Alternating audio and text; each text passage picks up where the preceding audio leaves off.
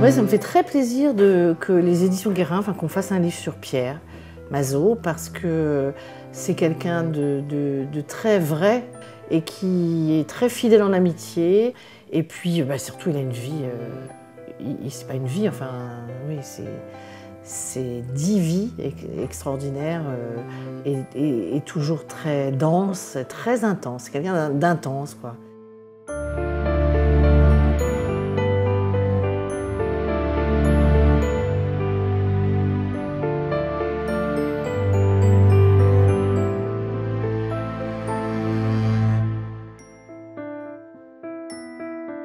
Michel était ami et avait beaucoup d'admiration pour Mazo. Et j'ai rencontré quelqu'un que je trouve euh, extraordinairement euh, attachant. Ce livre, c'est vrai que je, quand j'avais choisi mon sujet de mémoire, donc c'est presque 12 ans, 14 ans, je ne sais plus, euh, je pensais déjà qu'un livre devait être fait sur lui. Alors je, rêvais, moi, de le faire sur lui. Mais je savais que forcément, c'est un personnage qui, qui méritait une biographie. Hein. Euh, je ne sais pas si on peut mériter une biographie, mais je ne sais pas si ma biographie est bonne, mais en tout cas, il, a la dimension pour. Dans sa diversité, c'est forcément un personnage qui, intéresse, qui interpelle. De toute façon, on ne peut pas vivre une vie sans passion.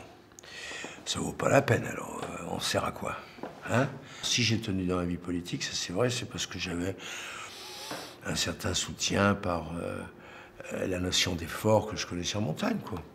Et donc le, livre est plein de, c'est presque épuisant de le lire, quoi, parce que on passe de la, de la montagne à la politique, de la politique à, à ces amitiés qui sont très surprenantes parce qu'elles sont pas là où on les attend. De toute façon, il n'est pas où on l'attend en général, je crois. Il a des amis autant à gauche qu'à droite. Enfin, c'est quelqu'un d'intelligent, quoi. Et ça, c'est quand même assez agréable. Euh, de, lire la vie de quelqu'un d'intelligent. Ce qui est le plus surprenant chez lui dans, sa vie, hein, c'est la, diversité. Euh, c'est une vie de, de rencontres, d'amitié. Euh, c'est un mot qu'il utilise beaucoup, l'amitié, les amis. Euh. et donc c'est ça la, richesse de, sa vie, c'est vraiment les rencontres. Mes rencontres avec Boujati, qui était pour moi un ami très très cher. Dino, il aimait en plus la montagne, il avait fait beaucoup dans les Dolomites, il avait une maison à Belluno, c'était extraordinaire. Et Dino, on parlait de tout sauf de montagne. ça, c'est un grand, grand monsieur. Tu nous lâches des noms, hein, Dino Buzzati, bon, euh, dans les rencontres, euh, quand même, des grands. Camus, euh, bon, c'est pas rien. C'est vrai que cette diversité, elle est extraordinaire. Camus, ça m'a marqué. la lettre que vous, que vous mettez, très belle. là où il y a le désespoir, c'est qu'on sait là où est l'espoir. C'est tout Camus en, une ligne. Ça, c'est un peu prodigieux, ça, ça me fout les larmes aux yeux. C'est un très grand. C'est amusant parce que je suis en train de le relire intégralement. Et je retrouve même dans des trucs comme La peste ou L'étranger, une vision totalement différente de celle que j'ai dû avoir quand j'ai lu euh, euh, Camus à, à 25 ans, quoi, à l'époque où je l'avais connu. Une vision totalement différente.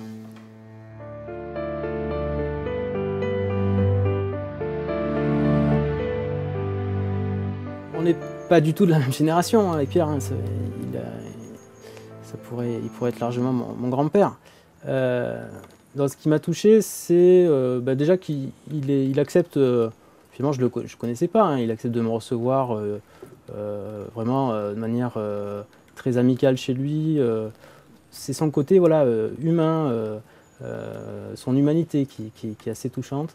Après, c'est quelqu'un aussi d'entier, donc entier. Alors, dans le côté, je l'ai déjà dit tout à l'heure, mauvais caractère, enfin, odieux caractère, pour reprendre son expression, mais aussi entier dans la, dans la sincérité. Euh, euh, bon, quand il parle de, ses copains disparus en montagne, euh, le Freinet 61, bien sûr, mais dans d'autres circonstances aussi, c'est pas du cinéma. Quoi. Il, vraiment, on le voit qu'il revit, les, il revit ces choses-là, c'est très présent pour lui. J'ai grimpé avec des garçons de milieux totalement différents, notamment avec toute l'équipe des Parisiens de Boulogne-Billancourt, qui étaient des ouvriers chaudronniers, quand on allait jeune au Saussois ou à Fontainebleau. Aucune différence. Les barrières disparaissent totalement. Plus rien n'existe.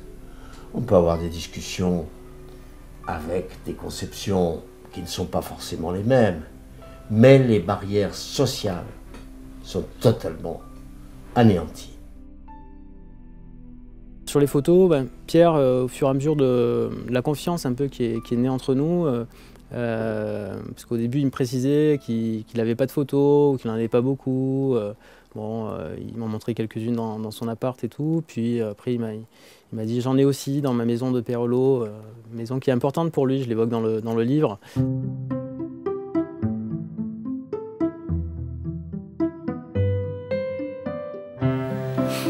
Ça, ah ben ça c'est mauvais, j'essaie de gagner des élections, des électeurs, mais savoir où, j'en ai fait tellement que je peux pas te dire.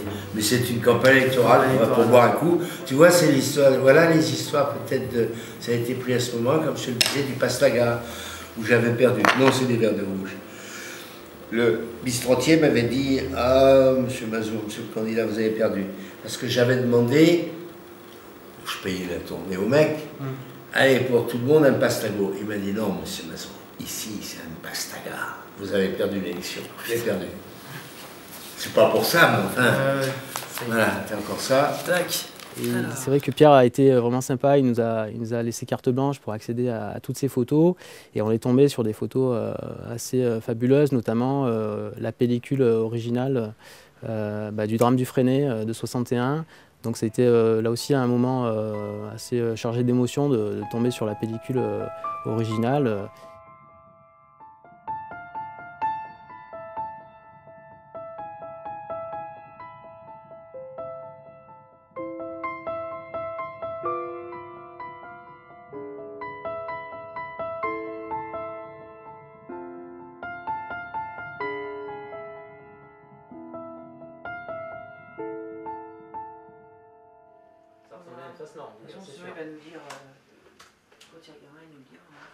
Face nord du Pise Basile. Allez, ouais. là-dessus. Alors, euh, en face, tu parles de lui. Michel parce que c'est une voix qu'il avait fait, loupé. plus là. Non, on, va, on va éviter, Michel. Il a loupé. Mm. Euh, Qu'est-ce qu'il y a de marqué? On va chercher. Son ami Michel Boucher. La difficulté au début euh, a été de trouver des photos de Pierre Vazov jeune. Après, euh, on vu qu'il a pu gentiment nous les donner, ça a été quand même beaucoup plus simple. Après, les autres difficultés, euh, je dirais, ont été de pouvoir euh, trouver des images aussi de sa vie politique sans qu'on on atterrisse sur une euh, galerie de portraits d'hommes politiques de la Ve République et que ça soit un petit peu plus. Ils sont pas, sont pas sexy? Non, ils sont pas. C'est pas qu'ils sont pas sexy, mais bon, on n'était pas en train de faire un, un tableau de la cinquième, quoi. C'était plus. c'est de trouver des photos ensemble. Mais heureusement qu'on a eu quand même un bon fond la collection Mazo, quoi. Et mm. des beaux inédits surtout.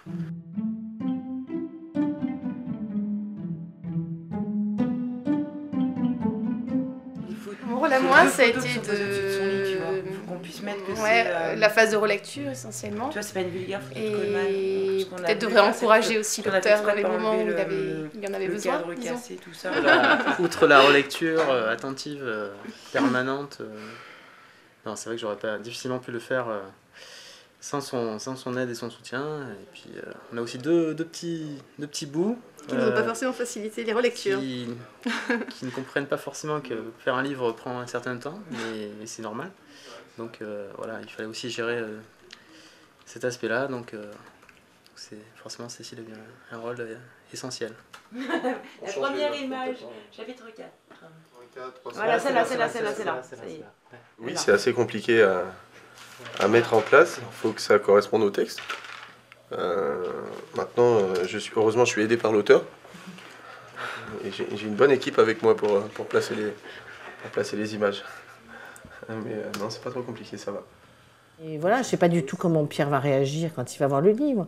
Il se peut que ça l'intéresse moyennement parce qu'il n'est pas très narcissique, je n'ai pas l'impression. Mais en tout cas, euh, oui, la, manière dont on le fait, ça, correspond bien au personnage qui est bouillonnant. Et il y a, une il y a une bonne ambiance avec l'auteur.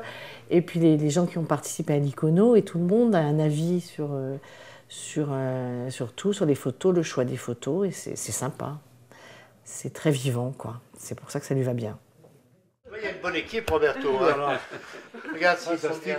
Comment ça va Très bien. Mais non de Dieu, ça bosse comme des bêtes ici. Toujours. Bah, regarde, comme des bêtes, c'est le mot. Hein. Bah oui, mais il, était dans l'escalier. Il y a même des bêtes qui ah, bossent. il y en a partout, dis-nous.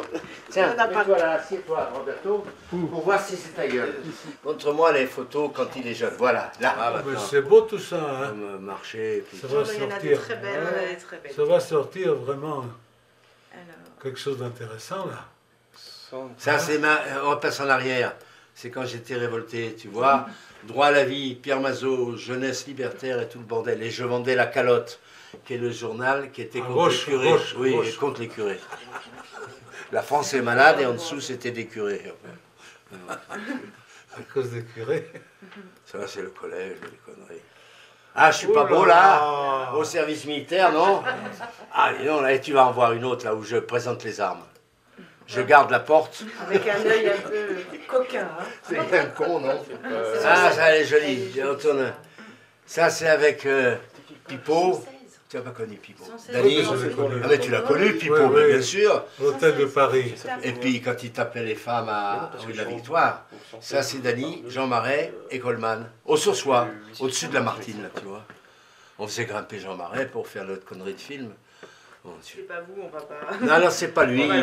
pourtant, pourtant, je sais pas. Mais moi, je pense que oui. parce que le site, le site, le site dit que c'est toi, hein Dit que c'est vous. Qui dit? Le site internet et tout le bordel de Trento, tout ça, ils disent que c'est toi. Ils ont fait cette photo en disant c'est nous deux. Peut-être que tu te reconnais pas parce que tu es trop beau, tu es trop jeune, mais si c'est pas toi, on l'enlève. Hein. Non, parce que moi, j'aurais jamais une veste comme ça. C'est très élégant, ça. Non, c'est pas moi, ça. C'est 80. Ouais.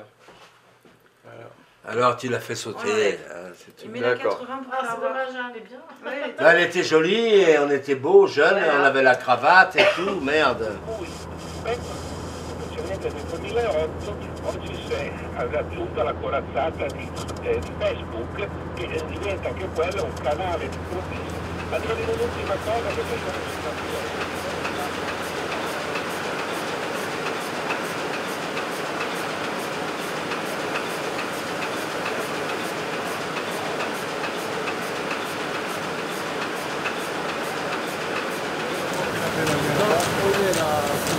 Poi Parce que bon, ça dépend de la condition de la photo. Là, il est fait contre, tu vois, il n'y a, pas, a pas le contraste déjà dans l'image. Ouais. Il y a l'ombre, eux ils sont à l'ombre.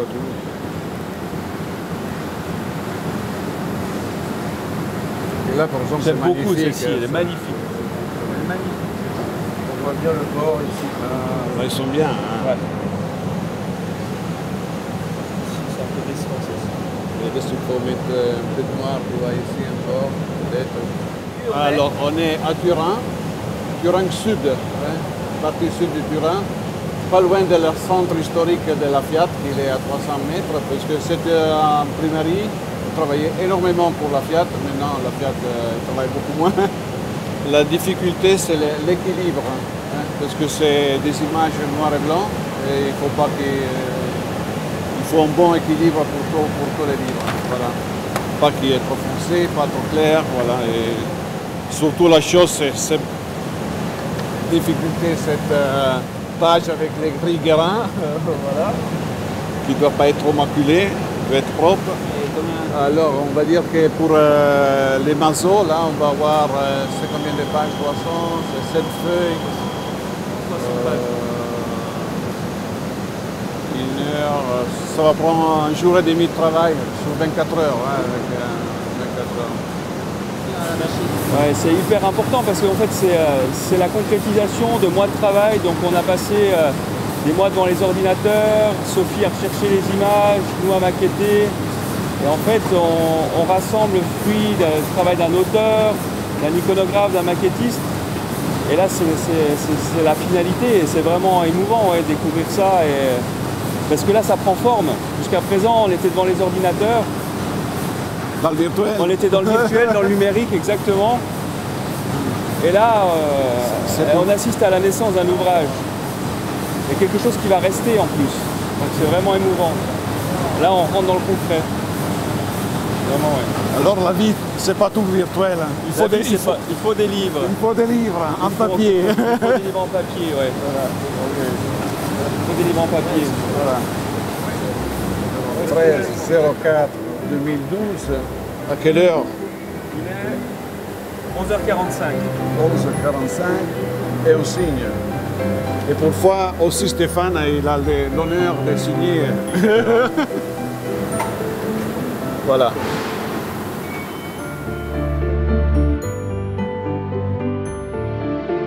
Euh, moi, ce que je te dis dans, dans l'avant-propos, mon ambition c'est de bah, qu'on se rende compte que Pierre Mazot, mais je pense que je prêche beaucoup, beaucoup de convaincus euh, que Pierre Mazot, sa vie est, intéressante euh, par sa diversité, sa richesse, euh, les rencontres.